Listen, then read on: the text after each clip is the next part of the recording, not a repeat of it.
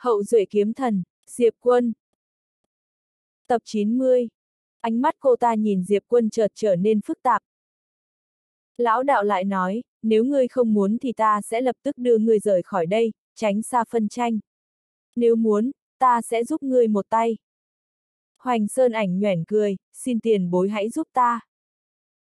Cực chứ? Sao lại không? Thủy tộc đã dám, tộc Hoành Sơn vì sao không dám? Trực giác mách cho cô ta rằng đây là một cơ hội cho cả tộc họ. Lão đạo cười lên, quyết đoán. Ông ta vươn tay, đẩy mảnh ngọc bội màu xanh vốn thuộc về Diệp Quân bay đến trước mặt Hoành Sơn ảnh, có bằng lòng làm đệ tử ta không? Thu đồ đệ. Hoành Sơn ảnh ngẩn ra vì ngạc nhiên. Vị tiền bối này tuy từng chịu ơn của tộc Hoành Sơn nhưng đó đã là chuyện rất lâu trước kia, khi tộc bọn họ còn ở thời kỳ đỉnh cao. Giờ đây họ đã không còn như xưa, không còn chút sức nặng nào trong mắt vị cựu thần ly hận thiên này. Năm xưa tộc Hoành Sơn cũng từng muốn để con em trong tộc bái lão đạo làm thầy hòng củng cố mối quan hệ nhưng đều bị ông từ chối. Không ngờ bây giờ ông ấy lại muốn thu Hoành Sơn ảnh làm đồ đệ. Lão đạo lên tiếng, ta biết ngươi ngạc nhiên, nhưng ta có hai lý do khi làm vậy. Thứ nhất, ngươi là người quyết đoán, dám nghĩ dám làm, không giống với rất nhiều người trong tộc Hoành Sơn. Thứ hai, vì nhân quả trên người Diệp công tử quá nặng. Trước kia ta nói ta không xứng làm thầy hắn không phải là giỡn chơi, nhưng ta vẫn muốn kết một phần thiện duyên, vậy nên đây chính là biện pháp trung hòa. Hoành Sơn ảnh bừng tỉnh ngộ, thu mảnh ngọc bội rồi cung kính thi lễ, sư phụ. Lão đạo mỉm cười, sau này trong tộc Hoành Sơn có người gây khó dễ hay chỉ trích thì chỉ cần lấy ngọc bội ra, ta sẽ tự đến giúp đỡ. Hoành Sơn ảnh đáp, đa tạ sư phụ. Rồi lão đạo mới quay sang nhìn bóng thú, nghe nó nói, xem ra ly hận thiên thật sự muốn đắm mình vào vũng nước đục này. Ông ấy cười đáp, lão đạo không có ý gì khác, chỉ muốn luận bàn với ngươi một phen. Rồi ông vung tay lên, gọi vô số tia sáng giáng xuống đầu bóng thú. Nó gần giọng, tới đây. Rồi hóa thành một tia sáng đen lao lên. Lão đạo bất ngờ biến mất tại chỗ, sau đó xé toạc một vùng thời không, cưỡng chế di rời bóng thú sang một nơi khác thật xa. Thần lực đại đạo ngày càng mạnh lên, ông ta không thể tiếp tục ở lại nơi này, bằng không sẽ có cường giả đăng thiên vực đến can dự. Sau khi lão đạo và bóng thú biến mất, Diệp Quân thấy sắc mặt bát điện chủ trở nên xấu xí hẳn đi. Sức mạnh của ông ta vượt qua cường giả cảnh giới khai đạo thông thường là nhờ một phần lớn ở bóng thú, nhưng bây giờ nó đã bị đưa đi mất, ông ta đương nhiên cũng yếu đi nhiều.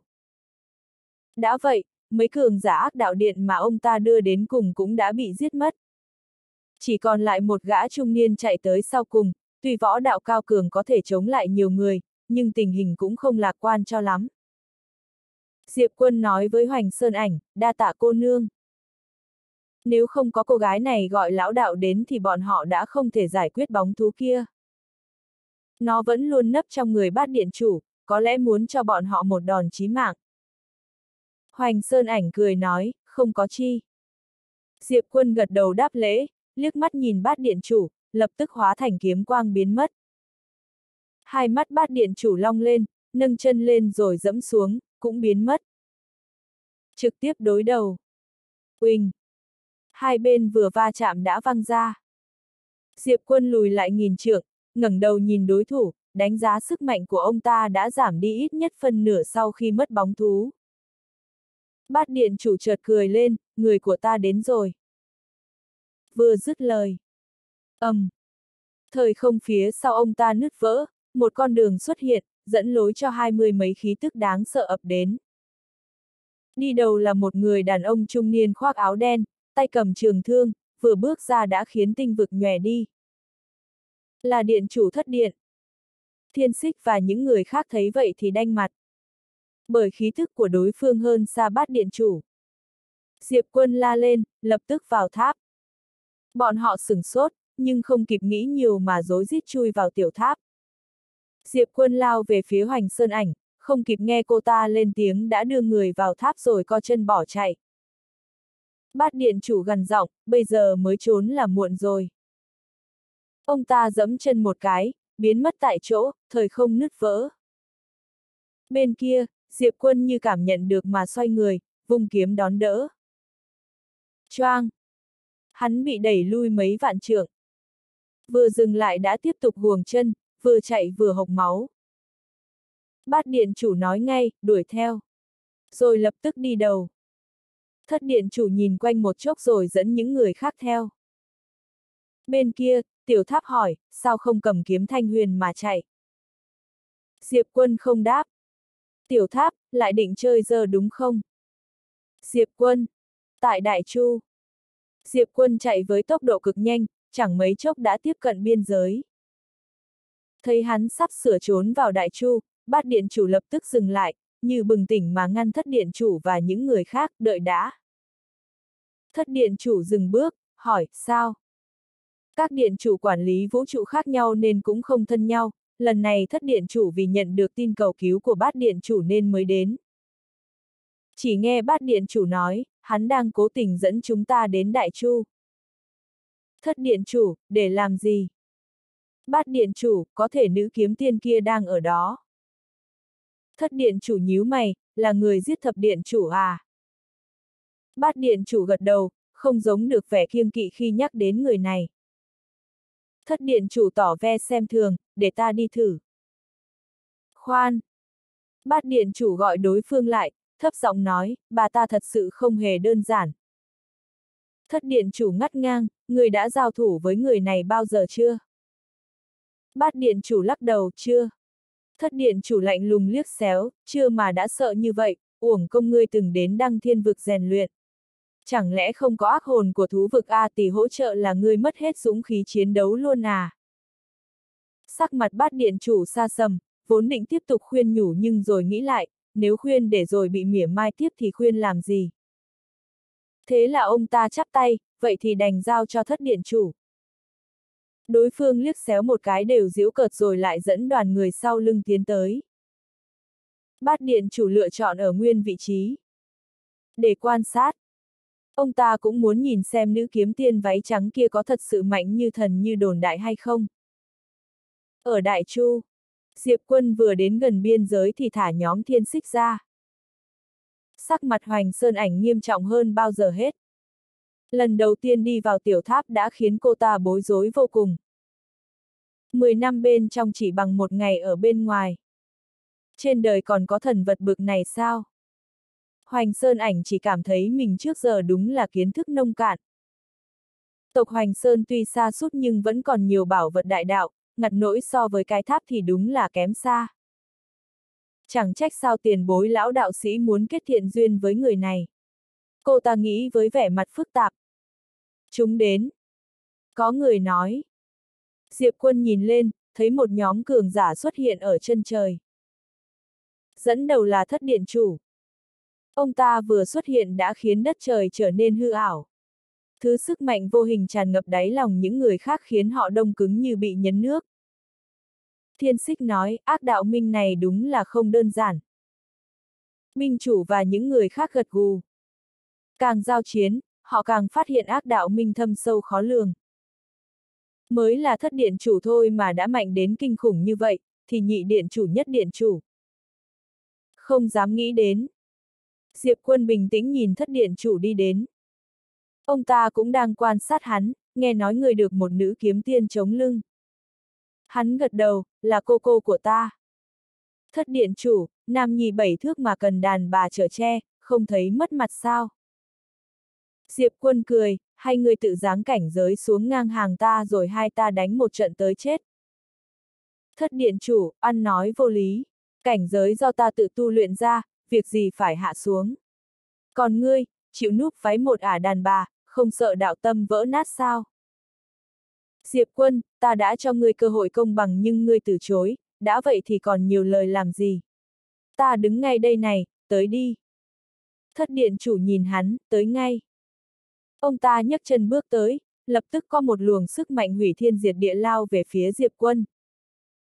Ai nấy đều hốt hoảng đứng chắn trước mặt hắn. Nhưng vào khoảnh khắc thất điện chủ tiếp cận tường thành. Diệp quân bỗng vươn tay lên cao, thét lớn, kiếm tới. Xoẹt. Kiếm khí từ trên cao giáng xuống. Uỳnh. ghim thất điện chủ vào vị trí cách Diệp quân 10 trượng. Mọi người sửng sốt.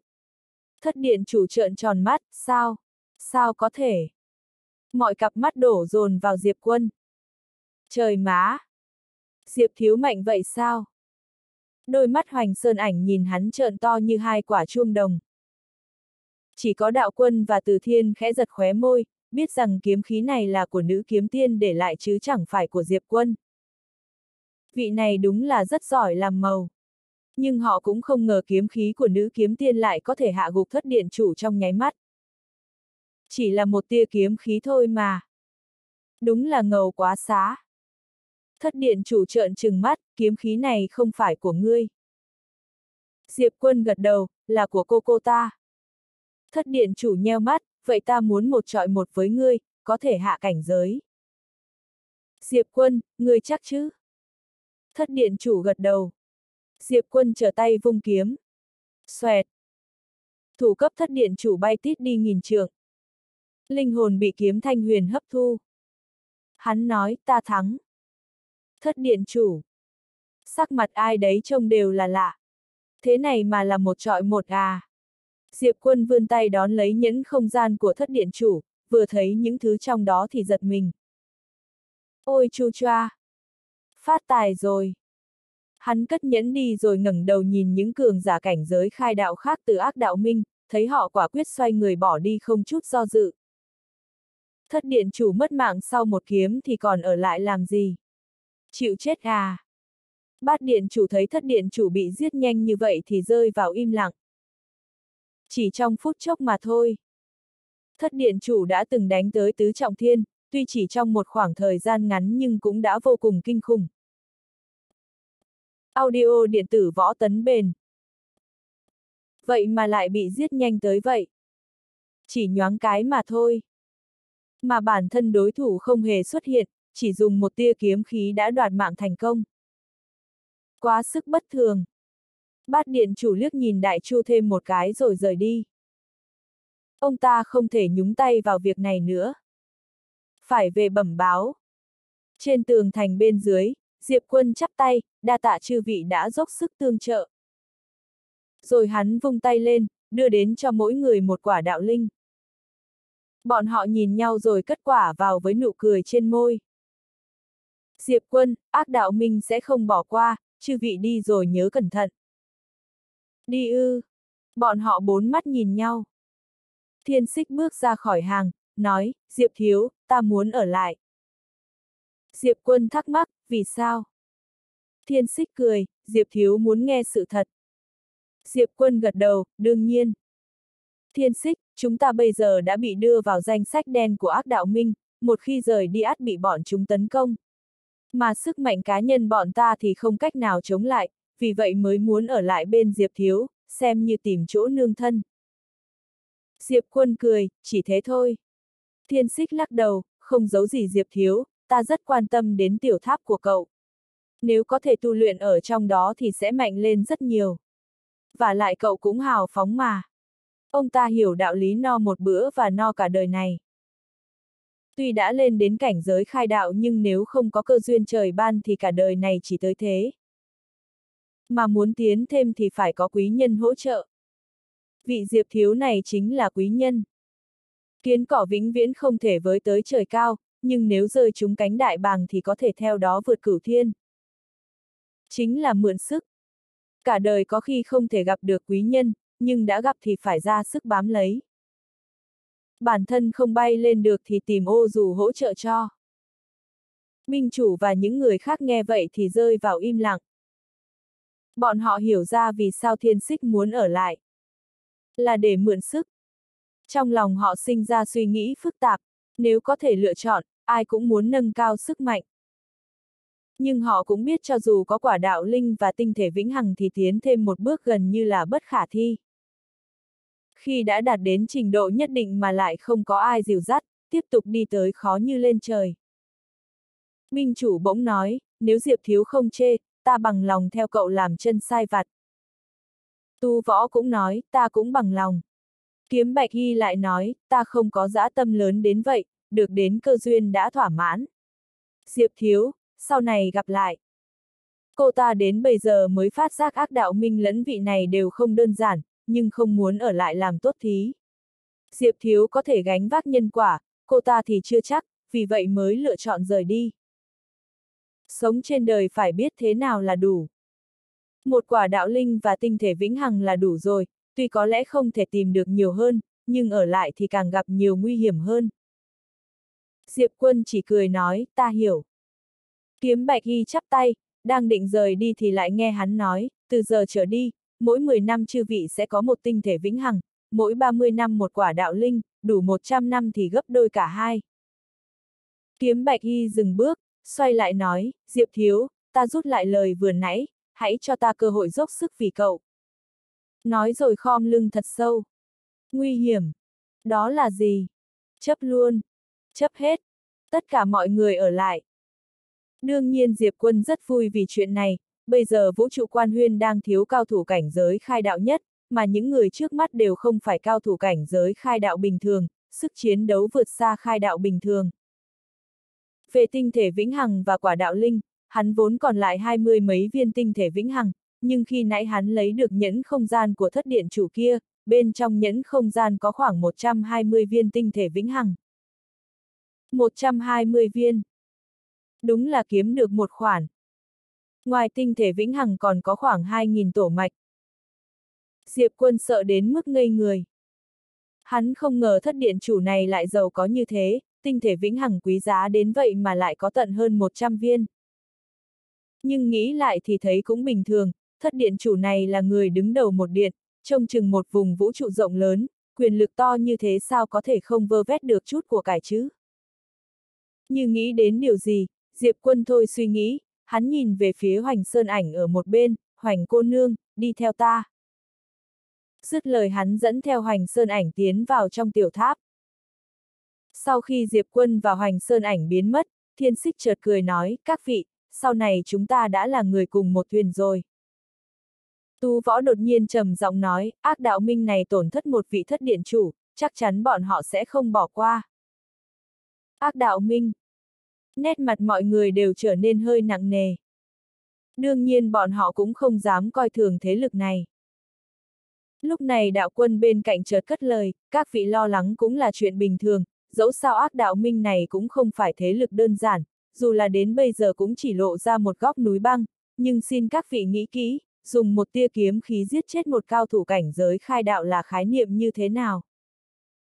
Mấy người nhóm thiên xích nhìn nhau, không thể không nói khi tia kiếm khí kia giết chết thất điện chủ, bọn họ đều rất khiếp sợ. Thất điện chủ kia từng lên trọng thiên thứ tư, dù lại bị đánh rớt. Nhưng như thế cũng đã rất kinh khủng rồi. Chỉ có những người từng đi tới đăng thiên lộ mới biết khó khăn đến mức nào. Nhưng một cao thủ tuyệt thế như vậy lại bị một tia kiếm khí giết chết trong nháy mắt. Chủ nhân của kiếm khí cũng không xuất hiện. Quá khó tin. Đạo quân cười nói, thật ra các vị cũng đừng xem thường Diệp Thiếu, bây giờ tuy cảnh giới của Diệp Thiếu còn thấp, nhưng nếu các vị ở đây đấu tay đôi với hắn, ai dám nói có thể dễ dàng chiến thắng hắn không? Mọi người im lặng. Không thể không nói, bọn họ khá là kiêng rè sức mạnh huyết mạch kia của Diệp Quân, đặc biệt là chiêu nhất kiếm chảm tuổi thọ của hắn. Tuổi thọ của bọn họ vốn không còn nhiều, nếu lại bị Diệp Quân chém cho mấy kiếm, nghĩ thôi đã thấy đáng sợ. Đạo quân lại nói, các vị, quý trọng khoảng thời gian này đi. Vì với thiên phú của Diệp Thiếu, e rằng không bao lâu nữa sẽ không cần các vị giúp đỡ nữa đâu. Nói đến đây, trong mắt ông ta lộ vẻ phức tạp. Ông ta tận mắt nhìn thấy sự phát triển của Diệp Quân trong khoảng thời gian này, tốc độ trưởng thành có thể miêu tả bằng từ biến thái. Khó tin. Mọi người đang có mặt đưa mắt nhìn nhau, sau đó đều cười khổ. Đúng thế, sức chiến đấu của Diệp Quân cũng khiến bọn họ rất kinh ngạc, nếu để Diệp Quân đạt đến khai đạo thì trong những người cùng cảnh giới, còn ai là đối thủ của hắn nữa. Lúc này, Từ Thiên đột nhiên đi tới cạnh Thiên Xích, sau đó nói, thí chủ, câu ông hét lên kia, là có ý gì vậy?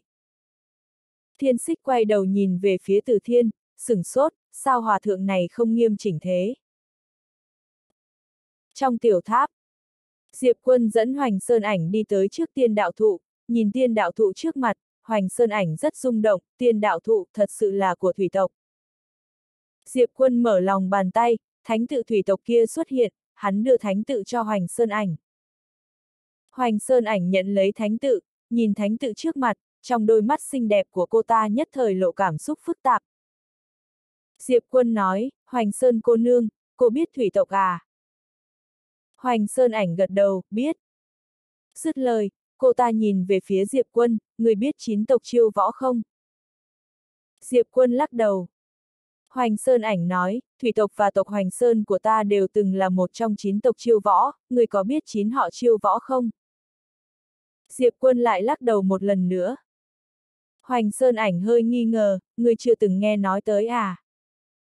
Diệp quân mỉm cười, đúng là chưa từng. Hoành Sơn ảnh trầm giọng nói, chín họ chiêu võ đại diện cho chín chủng tộc, trước đây đều là nền văn minh vũ trụ cấp 5, nhưng bây giờ ngoài tộc thiên võ, các tộc khác trong chín họ chiêu võ đều đã xa cơ thất thế. Diệp quân thắc mắc, là vì nền văn minh thiên hành sao? Hoàng Sơn ảnh gật đầu.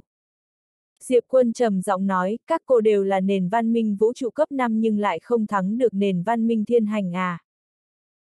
Hoành Sơn ảnh lắc đầu, không đánh lại, thật ra nếu trước đây chúng ta liên thủ thì còn có cơ hội, nhưng mỗi người trong chín họ chiêu võ đều ích kỷ, hoàn toàn không thể hợp tác, vì thế chúng ta bị nền văn minh thiên hành lần lượt đánh bại, đánh bại toàn bộ, nền văn minh xa sút Diệp quân nói, tộc thiên võ đó có thể chống lại nền văn minh thiên hành à?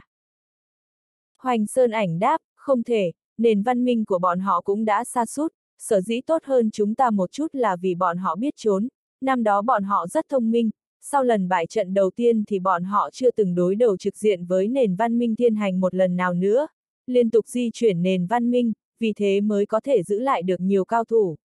Nhưng năm đó tiên tổ của bọn họ cũng đã chết trận. Diệp quân hơi khó hiểu, đều là nền văn minh vũ trụ cấp 5, vì sao nền văn minh thiên hành lại mạnh hơn nhiều như thế? Hoành Sơn ảnh trầm giọng nói, thật ra thì ta cũng rất muốn biết. Diệp quân. Hoành Sơn ảnh nhìn thánh tự trong tay, sau đó nhìn về phía Diệp quân, Diệp công tử, thứ này là thủy tộc cho ngươi à? Diệp quân đáp, không phải, là ta lấy được từ một di tích nền văn minh, nhưng sau đó ta từng tiếp xúc với cao thủ của nền văn minh thủy tộc. Dứt lời, hắn kể lại chuyện mình gặp mấy người tù linh. Sau khi nghe xong, nét mặt Hoành Sơn ảnh trở nên phức tạp, xem ra biết bao năm qua, thủy tộc bọn họ cũng không sống dễ dàng.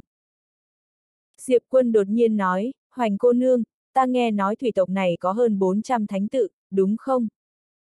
Hoành Sơn ảnh gật đầu, phải, hơn nữa thánh tự ngươi có cũng không được xem là cao cấp, nhưng tiếc là năm đó khi đối đầu trực diện với nền văn minh thiên hành, bọn họ đã hiến tế rất nhiều thánh tự, vì vậy hiện tại bọn họ cũng không còn nhiều thánh tự nữa. Hơn 400 thánh tự. Diệp quân nhìn thánh tự trong tay, cảm thấy hơi sợ hãi, dù thánh tự này không thể đánh nhau nhưng có thể tạo ra tiên đạo thụ, kết thành thần vật là quả đạo linh, mà một thần vật như thế cũng đủ để tạo ra một nền văn minh vũ trụ cấp 4 đỉnh cao rồi. Mà thủy tộc có hơn 400 thánh tự là khái niệm gì? Lúc này hắn mới phát hiện sự chênh lệch giữa nền văn minh vũ trụ cấp 4 và cấp 5 là rất lớn. Hoành Sơn ảnh cất lời, thật ra ở thủy tộc, thủy tự không phải thứ mạnh nhất, mà là thủy văn. Diệp quân nhìn về phía Hoành Sơn ảnh, thủy văn. Hoành Sơn ảnh gật đầu, nghiêm túc nói, đúng là, đó là vật chấn tộc của bọn họ, một khi thủy văn ra tay, thật sự khiến người ta sởn tóc gáy. Tiểu tháp. Diệp quân im lặng một lát rồi nói, cô nương có hiểu biết nhiều về ác đạo minh không? Thực lực của bọn họ đã đạt đến nền văn minh vũ trụ cấp 5 chưa? Hoành Sơn ảnh lắc đầu, ta không hiểu nhiều về bọn họ, cũng không qua lại với bọn họ, nhưng trước mắt, ác đạo minh này đúng là không đơn giản, Diệp công tử vẫn nên cẩn thận một chút. Diệp quân gật đầu, đương nhiên hắn không dám xem thường ác đạo minh này, lần này có thể giết chết thất điện chủ kia hoàn toàn dựa vào mưu mô, nếu hai bên chiến đấu thì hắn không có chút chắc chắn nào cả. Phải nâng cao thực lực. Diệp quân nghĩ đến đăng thiên vực. Bây giờ hắn thiếu kinh nghiệm thực chiến nhất, hắn phải dùng thực chiến rèn luyện thần tính của mình. Sau khi đạt đến 10 phần thần tính thuần túy thì khai đạo. Chỉ khi khai đạo, hắn mới được xem là cao thủ hàng đầu của vũ trụ hiện hữu này. Đi đến đăng thiên vực. Lúc này Diệp Quân đưa ra quyết định. Đại Chu có kiếm khí của cô cô, hắn không cần phải lo lắng, việc hắn phải làm bây giờ là nhanh chóng nâng cao thực lực của mình. Diệp Quân rời khỏi tiểu tháp, hắn đi tới một gian đại điện, Chu Phạn đang phê duyệt tấu chương, dù bây giờ cô ta chưa lên ngôi, nhưng Hoàng đế Đại Chu đã giao hết quyền hành, có thể nói cô ta chính là nữ đế chân chính. Hôm nay Chu Phạn mặc váy dài màu vàng nhạt, hoa văn thêu bên trên không phải rồng mà là phượng. Dung mạo của cô ta vốn rất xinh đẹp, sau khi mặc váy thêu phượng hoàng lại càng có vẻ tao nhã hơn, trên người mang theo khí thế oai phong. Chu Phạn chậm rãi ngẩng đầu, khi nhìn thấy Diệp Quân, cô ta đặt bút trong tay xuống, hé miệng cười. Diệp Quân đi tới trước mặt Chu Phạn, nhẹ giọng nói, ta phải đi đến Đăng Thiên vực rồi. Chu Phạn gật đầu, nhẹ giọng đáp, ta đoán được. Diệp Quân nói, vậy ta đi nhé. Chu Phạn đáp, được. Diệp Quân chớp mắt, ta đi thật đấy. Chu Phạn cười ung dung, đi đi. Chúng ta, sau này, gặp lại. Diệp Quân xoay người rời đi, nhưng sau khi đi mấy bước, hắn đột nhiên nghĩ đến điều gì đó, xoay người đi tới trước mặt Chu Phạn. Kiếm vực bao phủ, ngăn cách mọi thứ. Tình cảm trước giờ sợ ly biệt, kiếm vực ngăn cách cởi xiêm y. Lúc hai người yêu nhau mây mưa, dưới chân như có hương hoa mai thoang thoảng. Nội dung chi tiết lược bớt 100.000 chữ. Thập điện. Bát điện chủ ngồi trên thềm đá trước cửa đại điện, im lặng không nói một lời. Gã ta đã im lặng ở đây một ngày một đêm rồi. Mà trong đầu gã vẫn đang bao phủ bởi hình ảnh thất điện chủ kia bị giết chết trong nháy mắt. Một tia kiếm khí chém chết thất điện chủ. Ngay cả bản thể cũng không xuất hiện.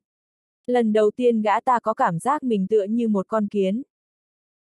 Lúc này, thời không trước mặt gã ta đột nhiên rung động, sau đó thời không nứt ra, một cô gái mặc trường bào màu đỏ nhạt chậm rãi bước tới. Cô gái vóc người cao gầy, tóc đen như mực, dung nhan vô cùng xinh đẹp, giữa hai chân mày cô ta có một dấu ấn màu đỏ như máu. Nhìn thấy người đến, bát điện chủ hơi nghi ngờ, vì gã ta cũng không biết cô gái trước mặt là ai. Cô gái đột nhiên mở lòng bàn tay, một lệnh bài xuất hiện trong tay cô ta. Thấy lệnh bài, bát điện chủ thoáng sửng sốt, sau đó thay đổi sắc mặt rồi đứng lên cúi thấp người hành lễ, bái kiến ngũ điện chủ. Ngũ điện ác đạo. Bát điện chủ hoảng hốt, gã ta không ngờ bên trên lại phái ngũ điện chủ tới. Lúc này cô gái lại mở lòng bàn tay, một bản vẽ xuất hiện trong tay cô ta, trong tranh có một cô gái mặc váy trắng. Cô ta nhìn chằm chằm bát điện chủ, người giết chết thập điện chủ đây à? Bát điện chủ gật đầu, trầm giọng đáp, đúng thế, thực lực của người này cực kỳ kinh khủng. Kinh khủng. Trên mặt cô gái không có chút cảm xúc, cô ta nở nụ cười khinh thường, cũng chỉ là kiếm tu của một nền văn minh cấp thấp mà thôi. Lần này ta đến đây là để giết chết người này, thiên mệnh váy trắng. Chẳng khác nào một con kiến lại dám tự xưng là thiên mệnh, đúng là không biết sống chết, đợi khi ta tìm được cô ta, chắc chắn cô ta sẽ. Giác. Thời không trước mặt cô gái đột nhiên nứt ra, một cô gái mặc váy trắng xuất hiện. Khi cô gái váy trắng xuất hiện, cô gái mặc trường bào đỏ nhạt kia còn chưa kịp hiểu là chuyện gì xảy ra đã có một bàn tay nắm lấy cổ họng của cô ta, sau đó đầu lưỡi của cô ta bị một lực lượng kéo ra ngoài. Máu tươi phun ra như suối. Cô gái trợn tròn mắt, cả người run rẩy. Lúc này, tay phải của cô gái váy trắng thoáng dùng lực. Hai chân cô gái kia mềm nhũn, lập tức quỳ xuống. Cô gái. Cô gái váy trắng xoay người nhìn về phía bát điện chủ bằng ánh mắt lạnh như băng, hai chân mềm nhũn quỳ dạp xuống đất, hai tay giơ lên, run rẩy nói, ta đầu hàng. Đầu hàng. Khi nhìn thấy tình trạng thê thảm của ngũ điện chủ kia, bát điện chủ như sắp phát điên. Mẹ kiếp! Mẹ kiếp! Mẹ kiếp! Người này còn là người à? Đây là ngũ điện chủ đó. Hơn nữa còn là một vị ác đạo từng trải qua ít nhất triệu lần vũ trụ kiếp, nhưng thậm chí còn không có khả năng đánh trả trước cô gái váy trắng này. Thật sự là không có khả năng đánh trả. Đạo tâm của bát điện chủ hoàn toàn sụp đổ. Phản kháng. Không, gã còn không có một chút suy nghĩ dám phản kháng nào cả, ở trước mặt người phụ nữ này, gã chỉ cảm thấy tuyệt vọng, tuyệt vọng vô cùng. Đầu hàng. Mẹ kiếp. Đi theo chủ nhân khác. Nhất định phải đi theo chủ nhân khác thôi. Người phụ nữ váy trắng cũng không giết bát điện chủ, bà ấy thu hồi tầm mắt, sau đó nhìn xuống ác đạo ngũ điện chủ trước mặt, trong mắt không chứa đựng chút cảm xúc, người có tư cách liên tục gọi tên ta à? Ngũ điện chủ hoảng sợ nói, ngươi là trên khai đạo. Trên khai đạo. Nghe thấy lời của ngũ điện chủ, mí mắt của bát điện chủ lập tức khẽ giật, không nói gì mà chỉ im lặng dập đầu. Trên khai đạo. Người phụ nữ váy trắng tỏ vẻ khinh thường, cũng giống như ngươi, cũng chỉ là một con kiến. Ngũ điện chủ. Trên khai đạo là kiến. Đầu óc bát điện chủ trống rỗng, sau đó gã lại im lặng dập đầu một cái. Ngũ điện chủ đột nhiên gào thét, vô số lôi kiếp đáng sợ bất chợt hội tụ từ trong thiên địa, những lôi kiếp kia to như cột, thật sự là hủy diệt đất trời. Dù biết rõ không thể thắng được người trước mắt, nhưng cô ta vẫn muốn liều mạng một lần. Người phụ nữ váy trắng giơ tay đập một cái về phía đầu của ngũ điện chủ. Bốp! Đầu của ngũ điện chủ lập tức nổ tung, máu tươi bắn tung tóe. Thần hồn tan biến. Sắc mặt bát điện chủ tái nhợt, gã lại im lặng dập đầu. Không biết đã bao lâu trôi qua, thấy không còn động tĩnh gì nữa, gã mới rè rặt ngẩng đầu lên, mà lúc này người phụ nữ váy trắng kia đã không còn ở đây. Bát điện chủ thoáng chốc sụi lơ ngã xuống đất, sức lực cả người như bị hút khô, đồng thời trong lòng cũng thở phào nhẹ nhõm. Không chết. Lúc này cả người bát điện chủ thật sự đều đã tê dại. Ngũ điện chủ cứ thế bị đập chết trước mặt gã. Hoàn toàn không có khả năng đánh trả. Thật sự giống như kiến. Như nghĩ đến điều gì, bát điện chủ chợt ngồi dậy nhìn về phía trước mặt, trước mặt gã có một chiếc nhẫn không gian đang lơ lửng. Trong nhẫn không gian có khoảng hơn 100 viên tinh thể vĩnh hằng, còn có hơn 1.000 tổ mạch. Bát điện chủ cất nhẫn không gian gì, sau đó nói cái này dùng để biếu Diệp quân. Nói đến đây, gã như nghĩ đến điều gì đó, đột nhiên tát mình một cái, Diệp quân gì chứ, là Diệp thiếu. Dứt lời, gã đứng dậy biến thành một tia sáng biến mất ở cuối chân trời. Đại Chu. Trên tường thành, Chu Phạn mặc phượng bào màu vàng nhạt đang đưa mắt nhìn về phía chân trời, ở cuối chân trời có thể thấp thoáng nhìn thấy dấu vết một tia kiếm quang bay qua. Lúc này nguyên tướng chợt xuất hiện bên cạnh Chu Phạn, ông ta cúi người hành lễ, điện hạ, nên trở về thôi. Chu Phạn thu hồi tầm mắt, gật nhẹ đầu, ừm. Dứt lời, cô ta xoay người rời đi. Nguyên tướng đi theo, ông ta trần trừ một lúc rồi nói, điện hạ, Diệp công tử có một thê tử ở vũ trụ quan huyên. Chu Phạn hỏi, Nguyên tướng muốn nói gì? Nguyên tướng trầm giọng nói, điện hạ, đây vốn là chuyện riêng giữa người và Diệp công tử, chúng ta không nên nhúng tay vào, nhưng chuyện này liên quan đến đại chu của chúng ta. Chu Phạn bình tĩnh nói, các ông muốn ta trở thành người đứng đầu hậu cung à? Nguyên tướng gật đầu, mọi người đều muốn như thế, chúng ta không có ý gì khác mà chỉ đang nghĩ cho lợi ích của Đại Chu thôi. Bọn họ biết có thể Chu Phản không quan tâm đến chuyện này, nhưng thật ra thì bọn họ lại rất quan tâm, cũng hết cách, bọn họ ở Đại Chu, đương nhiên phải suy tính lợi ích vì Đại Chu rồi. Chu Phản lắc đầu, nguyên tướng, sau này, Đại Chu cũng sẽ trở thành một phần của vũ trụ quan huyên. Nguyên tướng sửng sốt. Chu Phạn lại nói, về chuyện đứng đầu hậu cung, nguyên tướng, ta muốn giúp hắn hoàn thành sự nghiệp to lớn mà từ xưa đến giờ không ai có thể làm được, chứ không phải tranh đấu ở chốn hậu cung, ông hiểu ý ta chứ? Nguyên tướng im lặng. Chu Phạn lại nói, truyền lệnh xuống, Đại Chu bắt đầu liên kết về mọi mặt với vũ trụ quan huyên, còn nữa, tiểu ái cô nương muốn phái người đến xây dựng tiên bảo các, chuyện này do ông tiếp đón, nhớ kỹ phải dốc hết sức phối hợp với cô ấy. Dứt lời, cô ta xoay người rời đi. Diệp quân ngự kiếm di chuyển trong tinh không rộng lớn. Mục tiêu chuyến đi này của hắn là Đăng Thiên Vực, nơi vô số cao thủ cảnh giới khai đạo muốn đi nhưng không dám đi kia. Thực chiến Bây giờ hắn cần có rất nhiều kinh nghiệm thực chiến, hắn muốn dựa vào cách chiến đấu rèn luyện thực lực và thần tính của mình. Về phần mấy người nhóm thiên xích, bọn họ cũng đã ăn quả đạo linh, sau đó tu luyện trong tiểu tháp rồi.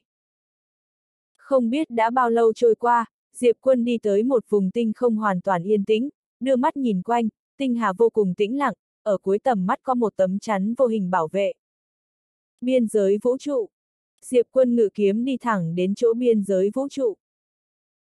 Khi hắn muốn đến gần biên giới vũ trụ kia, một lực lượng bí ẩn đột nhiên rơi xuống từ trên trời, chấn áp hắn phải đứng tại chỗ.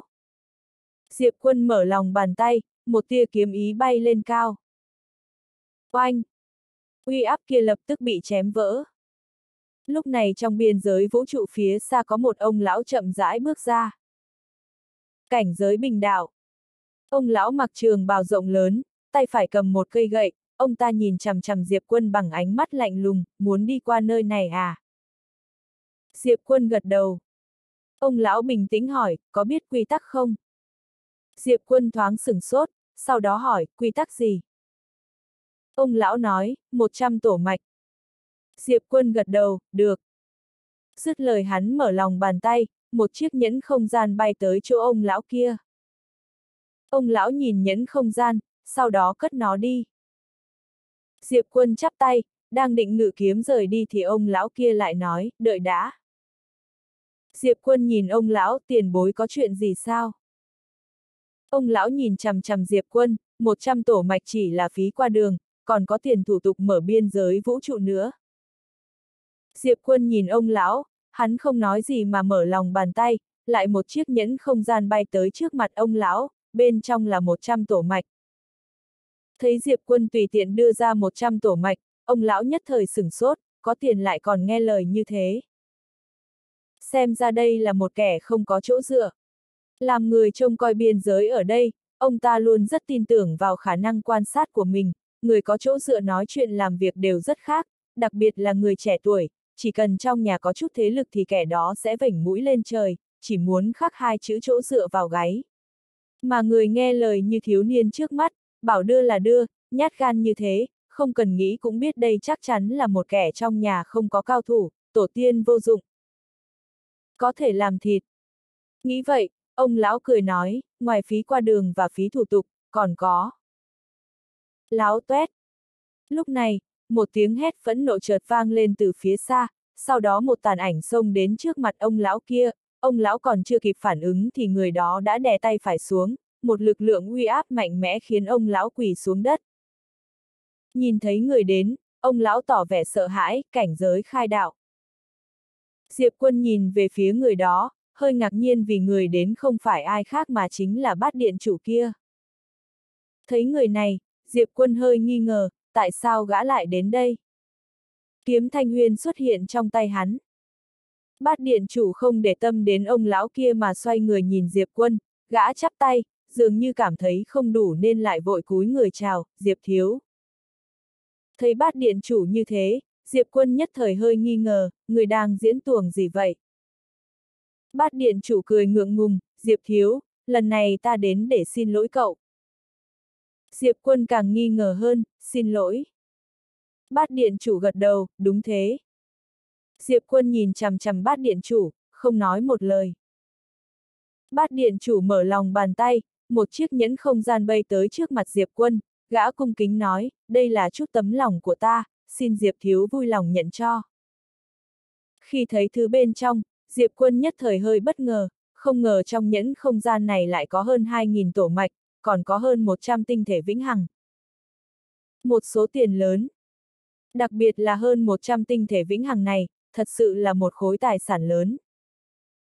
Diệp quân vẫn nhìn bát điện chủ với vẻ nghi ngờ, người này khiến hắn không biết phải làm sao. Xin lỗi. Đền tội. Cái gì thế này? Nhưng thái độ của người này cũng không giống đang giả vờ. Bát điện chủ đang định lên tiếng thì trong biên giới phía xa chợt truyền đến một khí thế đáng sợ. Bát điện chủ xoay người nhìn lại, cách đó không xa có một ông lão mặc áo gấm bước tới, ông ta vừa xuất hiện, thời không xung quanh đã lập tức dao động. Cảnh giới ách đạo. Cũng giống như cao thủ cảnh giới khai đạo, đây cũng là một tồn tại vô cùng hiếm thấy ở vũ trụ hiện hữu. Sau khi ông lão áo gấm bước ra, ông lão áo đen trước mặt bát điện chủ vội nói, đại trưởng lão, cứu ta. Khi nhìn thấy tình trạng thê thảm của ông lão áo đen, ánh mắt của ông lão áo gấm thoáng chốc trở nên lạnh như băng, người nào dám ước hiếp. Khi nhìn thấy bát điện chủ, ông ta thoáng ngây người, sau đó sắc mặt thay đổi, run rẩy nói, khai đạo. Khai đạo. Lúc nghe thấy lời của ông lão áo gấm, sắc mặt ông lão áo đen thoáng chốc trở nên trắng bệch. Sau đó ông ta nhìn Diệp Quân phía xa bằng ánh mắt tràn đầy khiếp sợ, cao thủ cảnh giới khai đạo này kính trọng khách sáo với tên kia như thế. Ông lão áo đen run rẩy nói, đại lão, ngài có lai lịch to lớn như vậy vì sao lại khiêm tốn thế?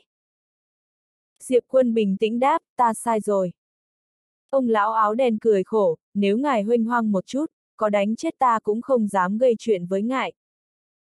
Diệp quân lắc đầu, thói đời này làm sao thế? Lúc này bát điện chủ đột nhiên vung tay áo, ông lão áo đen và ông lão áo gấm vừa xuất hiện kia đều bị tiêu diệt. Gã mở lòng bàn tay, nhẫn không gian của hai người bay vào tay gã. Sau đó gã cung kính đưa hai chiếc nhẫn đến trước mặt Diệp Quân, Diệp Thiếu, của cậu đây. Diệp Quân không nhận lấy nhẫn, hắn nhìn chằm chằm bát điện chủ, rốt cuộc là ngươi muốn làm gì đấy. Bát điện chủ trầm giọng nói, Diệp Thiếu, ta là thật lòng phục tùng, xin Diệp Thiếu cho ta một cơ hội giúp sức cho cậu. Diệp Quân nhíu mày, tại sao? Bát điện chủ trần trừ một lúc rồi nói, bị thuyết phục bởi sức quyến rũ và nhân cách của Diệp Thiếu. Diệp quân nhìn chằm chằm bát điện chủ, nghiêm túc nói, ta suýt tin rồi đấy. Bát điện chủ cười ngượng ngùng, sau đó nói, Diệp Thiếu, ta là thật lòng phục tùng, nếu cậu không tin ta sẽ đưa cho cậu một thần hồn của mình. Diệp quân giơ tay phải. Bát điện chủ không chút do dự thả một tia thần hồn của mình vào tay Diệp quân. Diệp quân cau mày. Người này bị điên rồi ư. Thật sự phục tùng. Chẳng lẽ bị nhân cách của hắn quyến rũ thuyết phục thật à? Sao có thể được? Diệp quân lập tức phủ định suy nghĩ này của mình, hắn không cho rằng sức hấp dẫn của mình có thể thuyết phục bát điện chủ trước mặt, thực lực của người này còn trên cả cơ tiểu kiếm, sao có thể bị hắn thuyết phục được? Cô cô váy trắng. Nghĩ thế, Diệp quân nhìn về phía bát điện chủ, người từng gặp cô cô của ta à? Bát điện chủ thoáng sửng sốt, rõ ràng là gã rất bất ngờ. Thấy thế, Diệp quân lập tức hiểu ra, lập tức hỏi, gặp bao giờ vậy? Bát điện chủ không thể nói dối được nữa, chỉ đành trả lời đúng sự thật, trước đây không lâu. Diệp quân hỏi, bà ấy giết người à? Bát điện chủ trần trừ một lát, sau đó gật đầu. Diệp quân nói, kể nghe xem. Bát điện chủ kể lại chuyện người phụ nữ váy trắng giết chết ngũ điện chủ, lần này gã không chút giấu giếm, ở trước mặt người thông minh tốt nhất nên thành thật một chút. Khi nghe thấy cô cô váy trắng giết chết một điện chủ, Diệp quân lắc đầu cười khẽ, ngũ điện chủ kia cũng thật là, nói xấu ai không nói lại đi nói xấu cô cô váy trắng. Nhưng cũng tốt, giảm bớt một phiền phức lớn cho hắn. Diệp quân thôi suy nghĩ, hắn nhìn về phía bát điện chủ, người chắc chắn là muốn đi theo ta chứ. Bát điện chủ vội gật đầu, ta là thật lòng. Diệp quân hỏi, tại sao? Bát điện chủ trần trừ một lúc rồi nói, có rất nhiều mục đích, thứ nhất là Diệp thiếu tài giỏi hơn người, triệu năm khó gặp, là. Diệp quân thẳng thừng ngắt lời bát điện chủ, nói sự thật. Bát điện chủ trầm giọng nói, sợ chết. Diệp quân nhìn chằm chằm bát điện chủ một lúc lâu rồi nói, đi theo ta. Dứt lời, hắn lập tức dẫn bát điện chủ vào trong tiểu tháp. Vừa tiến vào trong, bát điện chủ đã trợn tròn mắt, con mẹ nó. Đương nhiên Diệp quân cũng không bất ngờ trước thái độ ngạc nhiên của bát điện chủ, hắn dẫn đối phương đi vào cũng là vì mục đích này. Hắn biết rõ muốn dựa vào chính bản thân mình để thuyết phục những cao thủ cao cấp này hoàn toàn là chuyện không thể nào, cho nên chỉ đành mượn uy của cô cô thôi. Bát điện chủ đột nhiên run rẩy nói, Diệp thiếu, nơi này do cô cô của cậu tạo ra à? Diệp quân gật đầu, phải. Bát điện chủ đột nhiên tát mình một cái. Diệp quân sửng sốt, ngươi làm gì đấy? Bát điện chủ trầm giọng nói, ta có tài đức gì mà dám đối địch với Diệp thiếu chứ? Diệp quân. Lúc này bát điện chủ thật sự thấy hối hận, lúc trước gã từng điều tra người đứng sau Diệp quân, gã cũng biết người đó có chút thực lực, nhưng gã không ngờ lại mạnh đến thế. Đánh giá quá thấp. Bát điện chủ thầm thở dài, không thể không nói gã còn có thể sống sót đúng là phước ba đời. Đương nhiên nhiều hơn vẫn là vui mừng. Ngày đó nếu không nhờ dập đầu nhanh, e rằng gã cũng đã đi theo ngũ điện chủ rồi. Diệp quân chợt nói, nói ta nghe một chút về ác đạo minh đi. Ác đạo minh. Bây giờ hắn còn chưa hiểu quá nhiều về thế lực này, đặc biệt là mấy điện kia. Bát điện chủ biết mình phải góp công mới được. Gã đã chuẩn bị tâm lý trước với chuyện này rồi, lập tức nói ác đạo minh có tổng cộng 10 điện, lần lượt trông coi vũ trụ tinh vực khác nhau, bình thường gần như chưa từng cùng xuất hiện, nói về bát điện của ta đi, chúng ta chỉ nghe lệnh của nhị điện chủ và ác đạo sứ. Diệp quân nhíu mày, ác đạo sứ, nhị điện chủ. Bát điện chủ gật đầu, đúng thế, nhưng ta cũng chỉ từng gặp ác đạo sứ, chứ chưa từng gặp nhị điện chủ trong truyền thuyết kia. Diệp quân hỏi, thực lực của ác đạo sứ thế nào? Bát điện chủ trầm giọng đáp, sâu không lường được. Diệp quân hỏi, còn mạnh hơn cả ngươi à? Bát điện chủ gật đầu, mạnh hơn rất nhiều. Diệp quân chợt hơi tò mò, các người đều là cao thủ cảnh giới khai đạo, vậy phân biệt mạnh yếu như thế nào? Bát điện chủ trầm giọng nói, đăng thiên vực. Diệp quân nói, tham gia trận chiến đăng thiên à? Bát điện chủ gật đầu, giải thích phải, thực lực của ta có thể đánh lên trọng thiên thứ tư, đương nhiên nói đúng hơn thì chỉ có thể coi là trọng thiên thứ ba.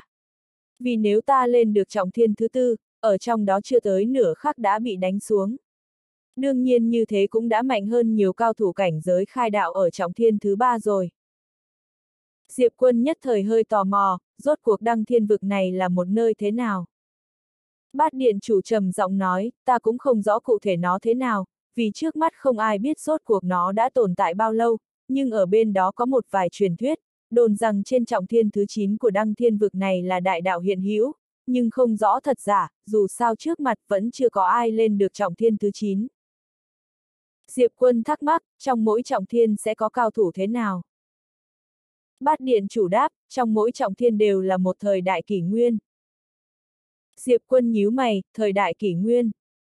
Bát điện chủ gật đầu, một kỷ nguyên là mấy tỷ năm, thật ra trọng thiên thứ 9 là 9 thời đại kỷ nguyên bị chân áp, nếu trên trọng thiên thứ 9 thật sự có đại đạo hiện hữu thì có nghĩa là đại đạo chân áp 9 thời đại. Diệp quân trầm tư một lúc lâu rồi nói, các ngươi đến khiêu chiến trọng thiên thứ 9 chỉ vì nâng cao thực lực à.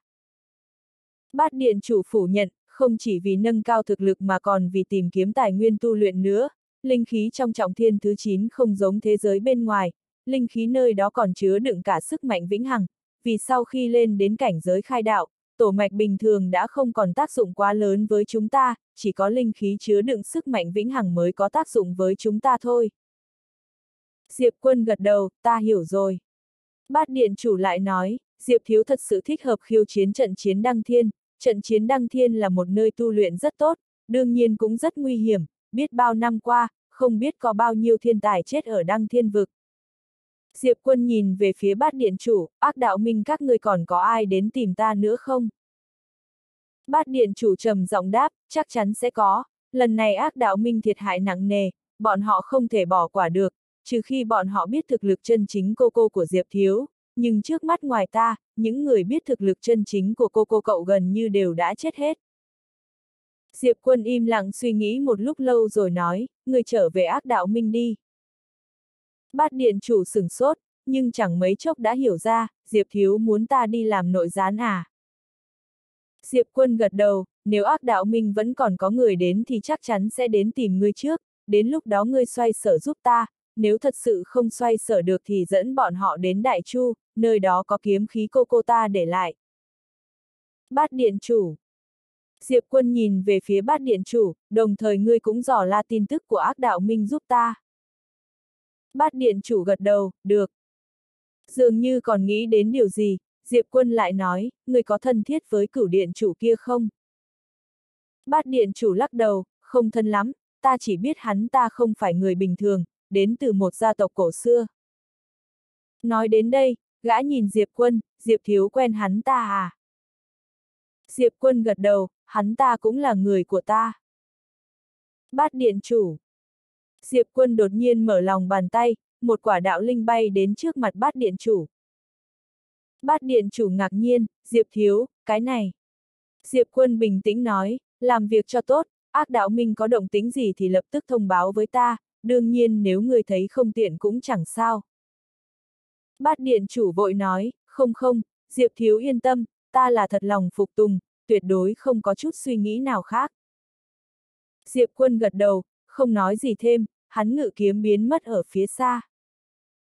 Bát điện chủ đứng tại chỗ nhìn quả đạo linh trước mặt với vẻ khiếp sợ, đây là thần vật đó. Diệp thiếu này đúng là hào phóng. Bát điện chủ cất quả đạo linh, xoay người rời đi. Không biết đã bao lâu trôi qua, cuối cùng Diệp quân cũng đi đến đăng thiên vực. Trên một vùng đất rộng lớn, có một tấm bia đá cao vạn trượng sừng sững trong thiên địa, trên bia đá chỉ có hai chữ to cổ xưa, Đăng Thiên. Khi đi tới trước bia đá, sắc mặt Diệp Quân nhất thời trở nên nặng nề, cũng không biết tấm bia đá này đã trải qua bao nhiêu năm tháng, nó tản ra một hơi thở xưa cũ và tang thương, hơi thở đó khiến người ta không nhịn được nảy sinh một cảm giác sợ hãi. Đăng Thiên Diệp Quân ngẩng đầu nhìn lại, trên đỉnh của bia đá là một cầu thang bằng đá, cầu thang nối dài đến cuối chân trời, mà trên những thềm đá này còn có 9 cánh cửa đá sừng sững. Trọng thiên thứ 9 Diệp quân đang muốn ngự kiếm bay lên thì đột nhiên có giọng nói vang lên từ bên cạnh đạo hữu. Diệp quân quay đầu nhìn lại, cách đó không xa có hai người đi tới, một nam một nữ, trông đều rất trẻ tuổi, nam mặc áo choàng trắng, phong độ nhẹ nhàng, nữ mặc váy trắng, rất xinh đẹp, nhưng lại hơi nhút nhát. Dung mạo của hai người rất giống nhau. Diệp Quân hỏi, có chuyện gì sao? Người đàn ông đi tới trước mặt Diệp Quân, cười nói, đạo hữu muốn tham gia trận chiến đăng thiên à? Diệp Quân mỉm cười, muốn thử xem sao? Người đàn ông hỏi, đây là lần đầu tiên đạo hữu đến đúng không? Diệp Quân hơi ngạc nhiên, sao người biết? Người đàn ông cười to, muốn tham gia trận chiến đăng thiên phải có hai thứ trước, thứ nhất là tích đạo phù, thứ hai là đạo dược. Diệp quân hơi nghi ngờ. Người đàn ông cười giải thích, tích đạo phù có thể che giấu thần thức và hơi thở của mình, có thể xóa đi dấu vết ngươi để lại trong thiên địa, thứ này rất quan trọng, không chỉ có thể che giấu hơi thở của ngươi còn có thể khiến người khác không thể cảm nhận được ngươi. Nếu người khác không cảm nhận được hơi thở của ngươi sẽ không biết thực lực của ngươi mạnh bao nhiêu, đương nhiên cũng sẽ không dám tùy tiện ra tay với ngươi, còn về đạo dược. Nói đến đây, hắn ta cười khẽ, thứ này càng quan trọng hơn. Đạo dược là thánh dược chữa thương, tiến vào trong trọng thiên thứ nhất vô cùng nguy hiểm, bị thương là chuyện khó tránh khỏi. Nếu không mang theo chút thuốc chữa thương thì sẽ rất nguy hiểm. Tích đạo phù. Diệp quân thầm nói, tháp ra, bây giờ ngươi có thể che giấu hơi thở cho ta không? Tiểu tháp đáp, đương nhiên có thể, yên tâm, sau khi cải tạo, bây giờ dù là bát điện chủ kia cũng không cảm nhận được hơi thở của người ấy chứ. Diệp quân gật đầu, sau đó nhìn người đàn ông trước mặt, cười nói, đa tạ huynh đài nhắc nhở, nhưng ta không cần những thứ này.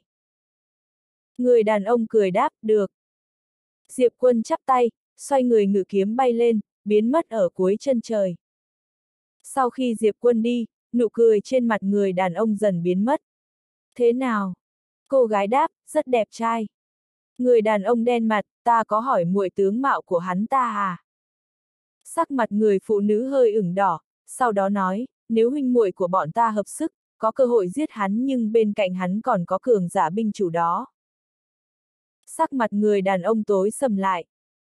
Người phụ nữ lại nói, huynh, người này có thể khiến nhiều cường giả cảnh giới khai đạo đi theo như thế chắc chắn không tầm thường, chúng ta đừng mạo hiểm. Người đàn ông khẽ nói, nhưng điều kiện mà ác đạo minh đưa ra thực sự rất hấp dẫn, 200 viên tinh thể vĩnh hằng, nếu có 200 viên tinh thể vĩnh hằng, huynh muội chúng ta không chỉ có thể nâng cao thực lực, mà mẹ cũng sẽ có thể sống tiếp.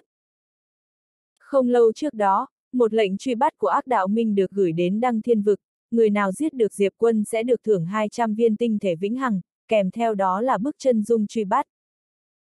Người phụ nữ lắc đầu, chúng ta chỉ biết hắn tên là Diệp Quân, nhưng không biết kẻ đứng sau hắn là ai, có thế lực gì, nếu tùy ý ra tay mà không biết chút thông tin gì, cho dù giết hắn e là cũng sẽ gặp nghiệp lớn.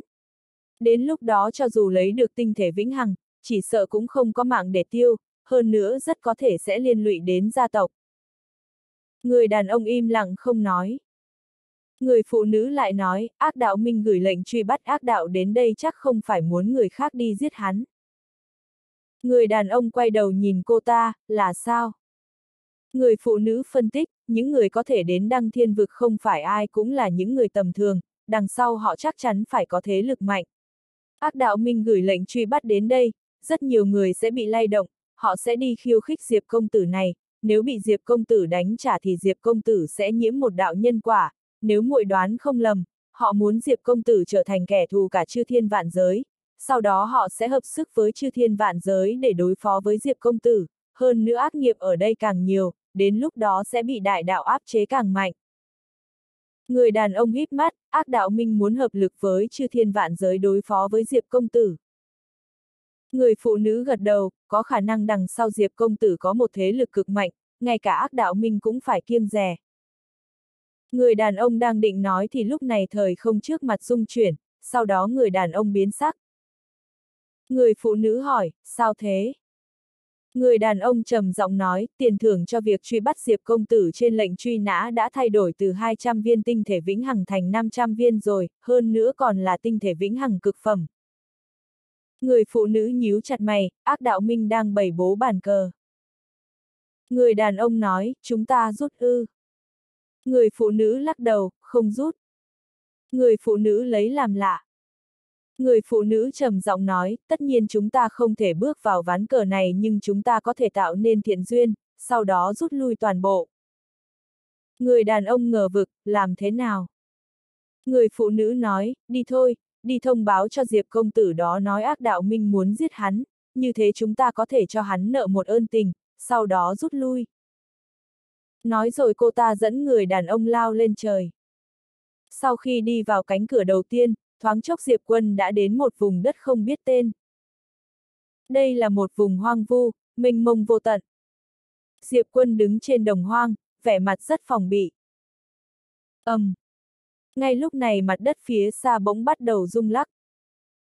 Diệp Quân ngẩng đầu lên nhìn, mắt đất ở tận cuối tầm nhìn bỗng nứt ra, sau đó một người đàn ông trung niên cầm dìu chậm rãi bước ra.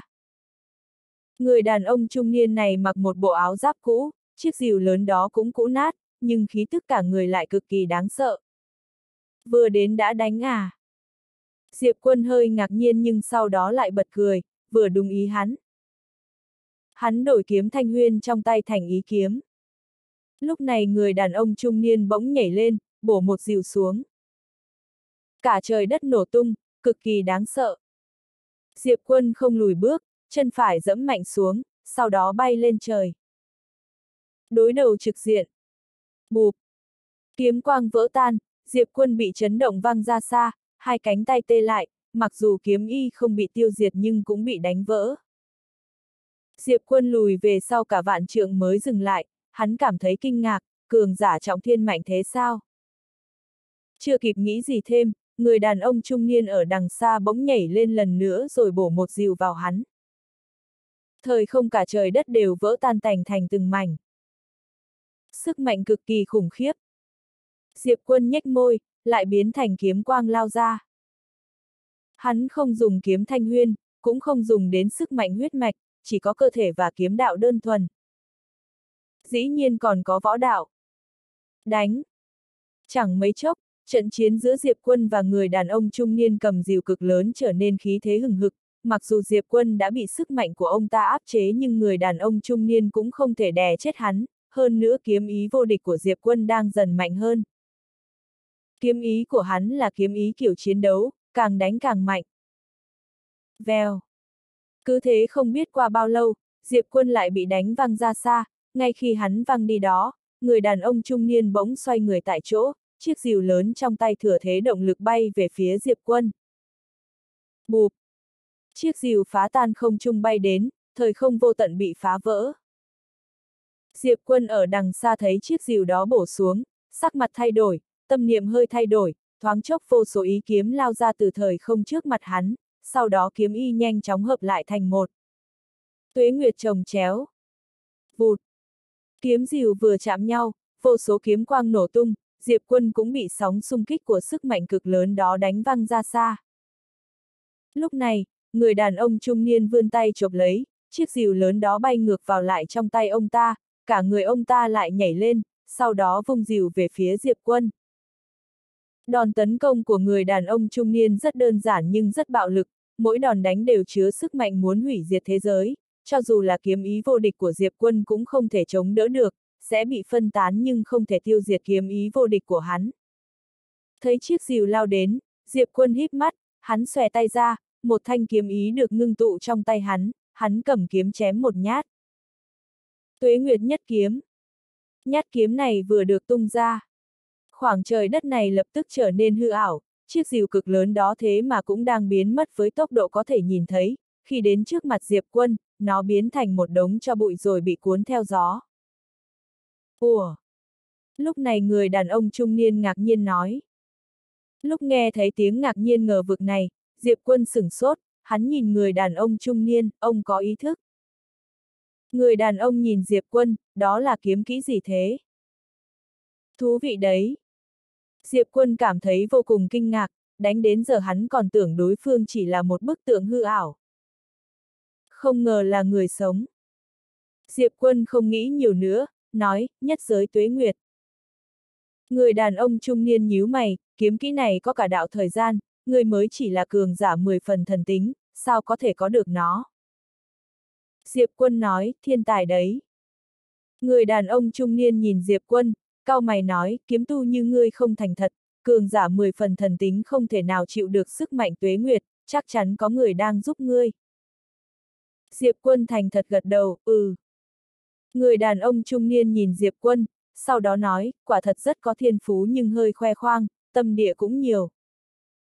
Diệp Quân. Người đàn ông trung niên xòe tay ra, một chiếc dìu lại ngưng tụ trong tay ông ta, nào, đánh tiếp chứ. Diệp Quân bỗng nói, tiền bối đợi một chút. Người đàn ông nhíu mày, làm gì?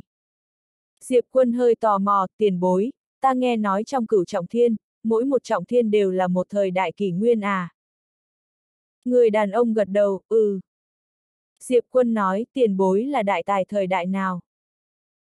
Người đàn ông khẽ lắc đầu, cũng không được xem là đại tài. Nói đến đây, ông ta nhìn Diệp Quân, người đến để nói chuyện à? Dứt lời, ông ta không đợi Diệp Quân lên tiếng đã nhảy lên chạy về phía Diệp Quân. Đòn tấn công như lôi đình, khí tức nghiền ép Diệp Quân như có một ngọn núi lớn đè lên, cực kỳ đáng sợ. Thấy người đàn ông trung niên lao đến, Diệp Quân cũng không dám sơ suất, lập tức phóng ra kiếm ý vô địch của mình. Lại đánh tiếp. Cứ thế Diệp Quân và người đàn ông trung niên đánh nhau cả vài giờ, trong lúc đó kiếm ý vô địch của Diệp Quân ngày càng mạnh, mặc dù hắn vẫn bị áp chế nhưng bây giờ đã có thể thành thạo. Không biết qua bao lâu, người đàn ông trung niên bỗng dừng lại, ông ta nhíu mày, kiếm ý này của ngươi. Diệp quân ở phía xa đánh đến mức mặt đầy vẻ phấn khích. Phải nói là trận đánh thoải mái như vậy rất sung sướng. Người đàn ông nhìn Diệp quân, nơi này, ta không thể làm gì người, người có thể đến trọng thiên thứ hai. Nói xong, ông ta xoay người đi. Diệp quân bỗng nói, khoan đã. Người đàn ông trung niên xoay người lại nhìn Diệp quân, sao thế? Diệp quân ngẫm nghĩ, sau đó nói, tiền bối, ông có thể ra khỏi nơi này không? Người đàn ông sầm mặt, người thấy sao? Diệp quân nghiêm túc nói, tiền bối, có lẽ ta có thể dẫn ông ra khỏi đây. Người đàn ông trung niên lắc đầu, chàng trai trẻ, người còn trẻ như vậy, thiên phú và sức chiến đấu đáng sợ như thế, đằng sau chắc có người có bản lĩnh, nhưng ngươi có biết đây là đâu không? Đây là cửu trọng thiên, bọn ta bị đại đạo trấn áp ở đây, trên người có phong ấn của đại đạo, người có biết đại đạo không? Diệp quân nói, mong tiền bối giải đáp. Người đàn ông trung niên lắc đầu không nói gì, muốn rời đi. Diệp quân bỗng nói, tiền bối, sao không cho mình một cơ hội? Người đàn ông trung niên dừng lại, quay đầu nhìn Diệp quân, cho dù ngươi có thể dẫn ta rời khỏi nơi này thật, nhân quả đại đạo cũng không phải là thứ mà ngươi có thể gánh được. Ngươi còn trẻ nên không biết, không biết nhân quả đại đạo lợi hại thế nào, ta có thể hiểu được nhưng ta không thể đâm đầu vào chỗ chết với ngươi. Nói rồi ông ta xoay người rời đi. Lần này Diệp Quân không nói gì. Lúc này, người đàn ông trung niên lại dừng lại, thầm nghĩ, thiếu niên này không giống là người không có đầu óc, đối phương đã dám nói như vậy có lẽ thật sự có át chủ bài. Sao không nói tiếp? Dù sao cũng không tổn thất gì. Nghĩ đến đây, người đàn ông trung niên xoay người nhìn Diệp Quân, người muốn dẫn ta ra ngoài thế nào? Diệp Quân hỏi, nhân quả đại đạo này là gì? Người đàn ông trung niên nói, nhân quả mà đại đạo hiện có sinh ra, chẳng hạn như bọn ta bị nó nhốt, nếu ngươi cứu bọn ta tức là đã nhiễm phải nhân quả đại đạo. Diệp Quân nói, nhân quả này có thể di rời không? Người đàn ông trung niên nhíu mày, di rời. Diệp Quân gật đầu, đúng thế, giờ nhân quả không tốt vào người người khác, chẳng hạn như vào người cha ta. Người đàn ông trung niên nhìn Diệp Quân, người hiếu thuận thật đấy. Diệp Quân. Chuyển rời nhân quả. Người đàn ông trung niên nhìn Diệp Quân, thấy Diệp Quân không giống đang đùa thì cảm thấy khó hiểu, lẽ nào tên này không phải là con ruột à? Dù sao ông ta chưa từng thấy ai gài bẫy cha mình như thế. Diệp Quân lại nói, tiền bối, có thể không? Người đàn ông trung niên trầm giọng nói, thực lực của cha ngươi thế nào? Diệp Quân thành thật nói, rất mạnh. Người đàn ông trung niên suy nghĩ hồi lâu rồi nói, cũng không phải không được. Diệp Quân mừng rỡ, có thể thật sao? Người đàn ông trung niên gật đầu, nhưng ta phải nhắc ngươi, thực lực của cha ngươi phải đủ mạnh, nếu không nhân quả đại đạo thêm vào người ông ta, nếu không thể chịu được. Nói đến đây, ông ta nhìn Diệp Quân, ngươi hiểu chứ? Diệp Quân mỉm cười, cha ta có thể làm được. Người đàn ông trung niên nói, ngươi cần ta làm gì? Dĩ nhiên ông ta không nghĩ thiếu niên trước mặt này sẽ cứu ông ta không công, người ta cứu ông ta chắc chắn có mục đích, trên đời này làm gì có bữa ăn nào miễn phí. Diệp Quân nói, làm việc cho ta 100 năm. Người đàn ông trung niên không do dự lập tức nói, được. Nếu 100 năm có thể đổi lại sự tự do thì quá hời. Thấy người trước mặt đồng ý nhanh như vậy, Diệp Quân lại thấy hơi ngạc nhiên, hắn không nghĩ nhiều bèn cười nói, tiền bối có thể nói một chút về nơi này cho ta không? Người đàn ông trung niên gật đầu, ông ta nhìn xung quanh, ánh mắt lóe lên tia phức tạp, nơi này từng tên là Vũ trụ Thiên Khải, cũng được gọi là kỷ nguyên Thiên Khải. Nói đến đây ông ta nhìn Diệp Quân, người có biết tại sao nơi này được gọi là kỷ nguyên Thiên Khải không? Diệp Quân lắc đầu. Người đàn ông trung niên bình tĩnh nói, vì ta tên Thiên Khải. Diệp Quân. Người đàn ông trung niên lại nói, tất nhiên đó đều là chuyện đã qua, bây giờ ta chẳng qua chỉ là một tù nhân đại đạo. Diệp Quân ngẩng đầu lên nhìn, hơi tò mò nói, trên cửu trọng thiên là đại đạo thật sao? Người đàn ông trung niên gật đầu, nói chính xác hơn là đại đạo hiện hữu. Diệp Quân hơi không hiểu, tiền bối, ta không hiểu tại sao các ông lại bị nhốt ở đây. Người đàn ông trung niên bình tĩnh nói, nghịch thiên không thành, ngược lại bị đánh. Diệp Quân Người đàn ông trung niên thấp giọng thở dài, tuổi trẻ ngông cuồng, học được một chút bản lĩnh là tự cho rằng mình vô địch thiên hạ, nên mới muốn học theo vài người đã từng nghịch thiên nghịch đạo. Ở thời đại đó của bọn ta, hình như không gào lên hai câu mạng là do ta chứ không do trời thì đều cho rằng mình không lợi hại. Nói đến đây ông ta nhìn Diệp Quân. Diệp Quân lắc đầu, ta chưa từng có suy nghĩ này, vì từ khi ta kế thừa gia nghiệp, cái gọi là thiên đạo đều làm công cho nhà bọn ta, đều là người của mình, ta đi khinh khi chúng làm gì. Người đàn ông trung niên nhìn Diệp Quân, cơ mặt khẽ giật. Diệp Quân lại nói, tiền bối, có phải thực lực của các ông bị trấn áp không? Người đàn ông trung niên gật đầu, một là bị đại đạo áp chế, người bên trong này cùng lắm chỉ có thể phát huy được một nửa sức chiến đấu. Ngoài ra, thân thể và linh hồn của bọn ta đã bắt đầu bị năm tháng ăn mòn, giống như một tòa căn nhà cũ kỹ bị dồn nát ở khắp nơi, mặc dù vẫn chưa sập hẳn nhưng cũng đổ nát, không chịu được trọng lượng. Đây cũng là nguyên nhân tại sao ông ta phải dừng lại nói nhiều hơn với Diệp Quân. Thật ra đến bây giờ ông ta cũng không tin Diệp Quân có thể đưa ông ta ra khỏi đây, muốn ra khỏi đây không chỉ bị nhiễm phải nhân quả đại đạo mà còn phải giải trừ phong ấn đại đạo trên người ông ta. Bị nhiễm nhẫn quả là tai họa. Giải trừ phong ấn là việc khó như trời. Nhưng ông ta vẫn muốn thử. Dù sao cũng không tổn thất gì. Ngộ nhớ có thể thành công thì sao? Diệp Quân nói, nói cách khác tiền bối ra khỏi đây là có thể hồi phục tu vi và thực lực. Thiên Khải nói, có thể nhưng vẫn cần khá nhiều tinh thể vĩnh hằng. Diệp Quân gật đầu, ta hiểu rồi. Nói rồi hắn nhìn Thiên Khải, ta cần làm gì? Thiên Khải không nói gì, chỉ giơ tay lên trời tung ra một quyền ầm, um, Trời đất chấn động. Mấy ngàn trượng trên đỉnh đầu Thiên Khải xuất hiện một phù ấn đại đạo màu đỏ máu, sau khi phù ấn đó xuất hiện, một sức mạnh vô hình chấn áp Thiên Khải. Thiên Khải nhìn Diệp Quân, vẻ mặt hết sức phức tạp, nếu ta ra khỏi đây thì phải phá được tù ấn đại đạo này. Diệp Quân gật đầu, chuyện nhỏ. Thiên Khải nhìn chằm chằm Diệp Quân không nói gì. Diệp Quân bỗng xòe tay ra, kiếm thanh huyên lao lên trời. Vèo. Chỉ một nhát kiếm đã phá vỡ tù ấn đại đạo đó khiến nó biến thành từng mảnh vỡ bay đầy trời. Gần như trong cùng một lúc, sức mạnh bí ẩn quấn lấy thiên khải bỗng bị phá vỡ. Thiên khải ngây người. Giải trừ được rồi hả? Lúc này ánh mắt ông ta hiện lên vẻ hoang mang, tù ấn đại đạo này đã nhốt ông ta không biết bao nhiêu năm, bây giờ đã bị phá rồi. Ông ta chỉ cảm thấy không chân thực, như một giấc mộng. Ngay lúc này không trung xuất hiện từng nguồn năng lượng bí ẩn lao về phía kiếm thanh huyên. Thiên khải biến sắc, đây là nhân quả đại đạo. Nhưng Diệp quân lại thở phào, vì mục tiêu của nhân quả đại đạo không phải hắn mà là kiếm thanh huyên. Hắn chỉ muốn nói một câu, làm tốt lắm. Vô số nhân quả bí ẩn đến gần kiếm thanh huyên, ngay sau đó kiếm thanh huyên rung mạnh lên đánh vỡ tất cả nhân quả đại đạo. Thấy thế thiên khải sửng sốt, mặt đầy vẻ ngờ vực, đây, đây là. Diệp quân xòe tay ra, kiếm thanh huyên bay vào trong tay hắn, hắn bình tĩnh nói, bội kiếm của ta, nhân quả không đánh chiếm được nó.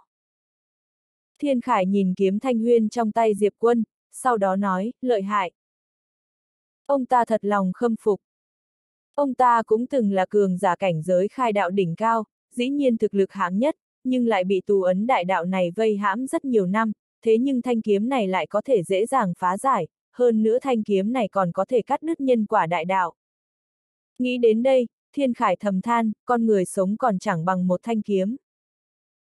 Diệp quân cười nói, tiền bối, chúng ta đi thôi. Thiên Khải không suy nghĩ nữa, sau đó cúi người thật thấp với Diệp quân, cảm ơn ơn cứu mạng của cậu Diệp, trong 100 năm chỉ cần cậu Diệp có gì dặn dò, Thiên Khải sẽ tuân theo. Nếu là trước đây ông ta sẽ xem thường thiếu niên trước mặt, nhưng giờ phút này, ông ta đã hoàn toàn không còn sự khinh thường đó nữa, ngược lại còn khá kiêng rẻ hắn, lai lịch của thiếu niên này khá lớn, đối phương có thể cứu mình mà nói chắc cũng có thể giết mình, nếu mình không biết thức thời thì chuyện vốn dĩ là phúc đức sẽ lập tức trở thành đại họa. Diệp quân nói, tiền bối có thể vào trong tháp của ta tu dưỡng. Thiên Khải nói, trong tháp. Diệp quân gật đầu, hắn đưa Thiên Khải vào tiểu tháp, vừa vào tiểu tháp, sắc mặt Thiên Khải trở nên nghiêm trọng. Diệp quân xòe tay ra, 10 viên tinh thể vĩnh hằng xuất hiện trước mặt Thiên Khải, có cả một quả đạo linh. Thiên Khải khá ngạc nhiên, đây. Diệp quân nói, tiền bối dùng trước đi. Thiên Khải cười khổ, cậu Diệp, cậu cứu ta, bây giờ còn cho ta thần vật, ta hơi ngại đấy. Diệp quân cười nói, không giấu gì ông, ta có một kẻ địch cực kỳ mạnh nên sau này sẽ cần tiền bối cố gắng nhiều, cho nên giúp ông hồi phục tu vi cũng coi như là giúp bản thân ta. Thiên Khải lập tức chắp tay lại, ta giỏi nhất là đánh nhau. Diệp quân bật cười. Thiên Khải bỗng nói, cậu Diệp, bên ngoài có hai người vừa đến, họ đi theo cậu từ xa, cần ta giải quyết họ không? Diệp quân nhìn ra ngoài, sau đó nói, không cần đâu, ông cứ hồi phục trước đi, ta đi gặp họ. Thiên Khải gật đầu, ừ. Diệp quân rời khỏi tiểu tháp. Thiên Khải nhìn xung quanh, trong mắt đầy vẻ ngạc nhiên. Mẹ nó chứ. Mình gặp phải cậu chủ nhà nào đây? Lợi hại thế. Bên ngoài. Diệp quân ngự kiếm bay đi, thoáng chốc đã đến một tầng mây, có hai người đứng cách hắn không xa. Chính là hai huynh muội trước khi hắn bước vào trọng thiên thứ nhất. Diệp quân nhìn hai người cười nói, hai vị tìm ta, hai huynh muội đều cảm thấy ngạc nhiên, Diệp quân phát hiện ra họ từ bao giờ.